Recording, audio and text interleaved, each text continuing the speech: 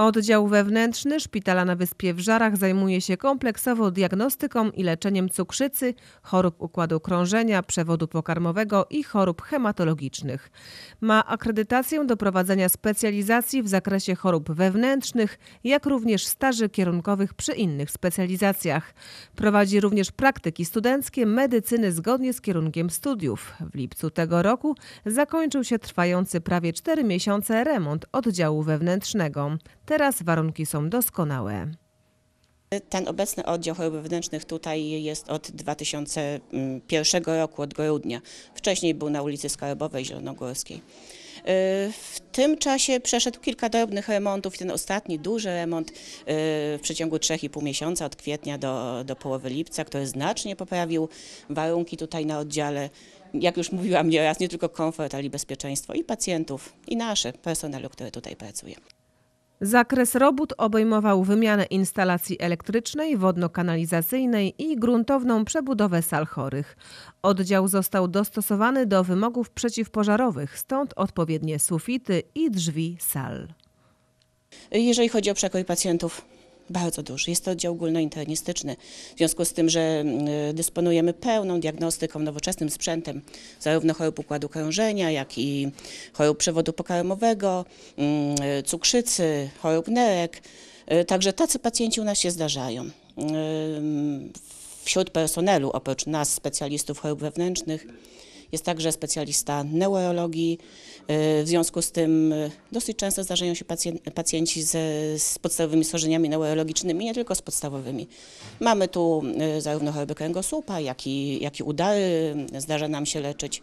Oddział dysponuje 28 łóżkami wraz z salą ścisłego monitorowania z defibrylatorem i innymi urządzeniami monitorującymi i ratującymi życie. W każdej z sal znajduje się łazienka z prysznicem i toaleta. Przede wszystkim każdy pacjent ma łazienkę wokół siebie.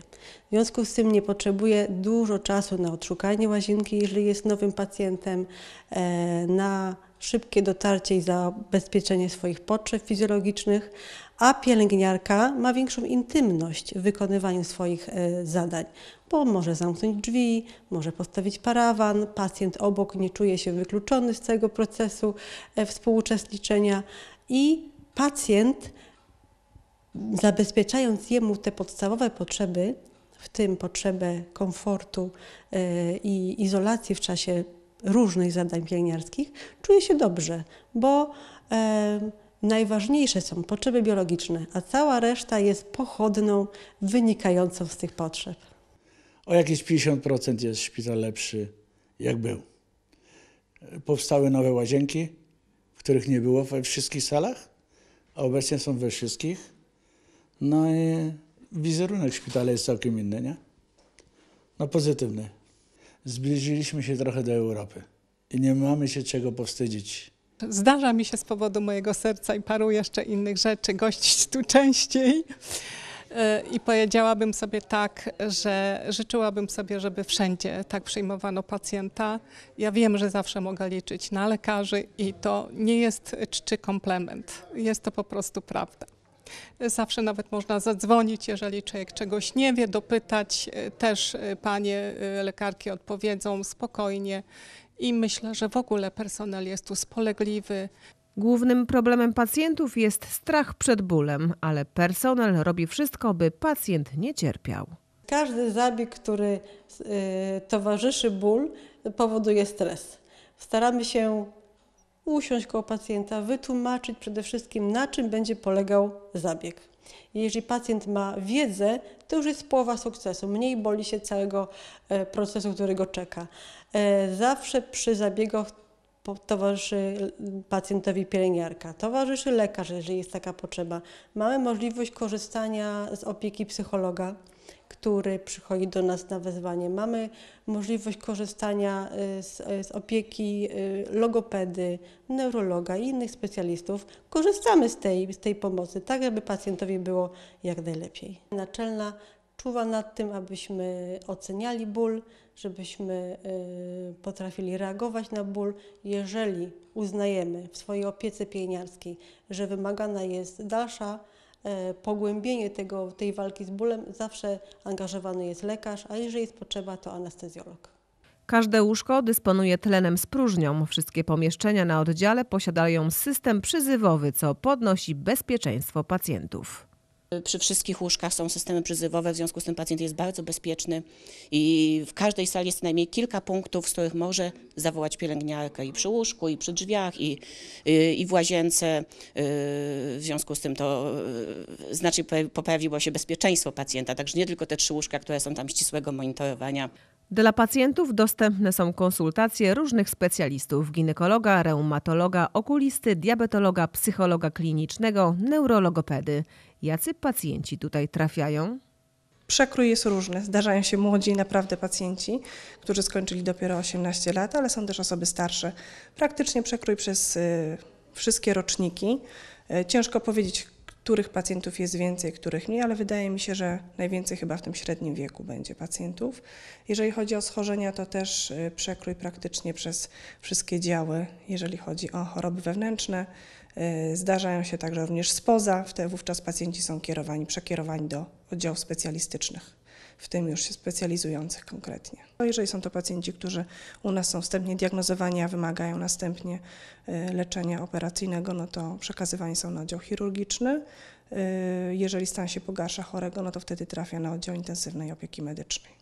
Pacjentami na oddziale wewnętrznym opiekuje się wykwalifikowany personel pielęgniarski wraz z oddziałową. Pielęgniarek w oddziale jest 10, ja jestem 11. Nasza rola polega na przede wszystkim na zapewnieniu pacjentom bezpieczeństwa, stworzenia takiej atmosfery, żeby czuli się w oddziale pewnie, swobodnie, bezpiecznie, żeby mieli zaufanie do tego, co pani doktor proponuje w całym systemie leczenia i wykonywać przede wszystkim zlecenia lekarskie najbardziej, jak to jest możliwe, fachowo. Na tym polega nasza rola. Jeśli do tego dodamy miły uśmiech, no to czegoż chcieć więcej. Taka atmosfera, jaką tu proponujemy pacjentom, jest atmosferą przyjazną, domową. Staramy się wychodzić naprzeciw ich potrzebom i spełniać ich oczekiwania. Na leczenie na oddziale wewnętrznym szpitala na Wyspie decydują się nie tylko pacjenci z terenu powiatu żarskiego, ale coraz częściej z powiatów ościennych. Również pacjenci z powiatu żagańskiego i to jest też spora liczba osób. Yy, Ostatnio również yy, coraz częściej pacjenci z powiatu gubińskiego i krośnieńskiego mimo wszystko. Pacjenci są też nie tylko przyjmowani yy, na bieżąco, ale też są niestety terminy planowych przyjęć, bo, bo, bo są problemy też z, przy, z wolnymi miejscami na oddziale. Pacjentom oprócz procesu leczenia oferowana jest diagnostyka kardiologiczna, monitorowanie ciśnienia tętniczego z próbą wysiłkową na bieżni, diagnostyka gastroenterologiczna, badania endoskopowe i gastroskopia. Dostępna jest również diagnostyka RTG, USG i tomograf komputerowy, łącznie z badaniami naczyniowymi. Współczesna medycyna nie może funkcjonować bez diagnostyki obrazowej. W ostatnich latach tomografia komputerowa stała się nieodzownym elementem w monitorowaniu i diagnostyce wielu schorzeń. E, Jest y, bardzo ważnym narzędziem. Uzyskujemy dzięki niemu przekroje ciała ludzkiego, które y, pozwalają nam uzyskać ogromną ilość informacji. E, W naszej e, pracowni wykonujemy przede wszystkim badania szpitalne i dla współpracujących z nami placówek, e, ale wychodząc naprzeciw potrzebom pacjentów, wykonujemy również badania odpłatne.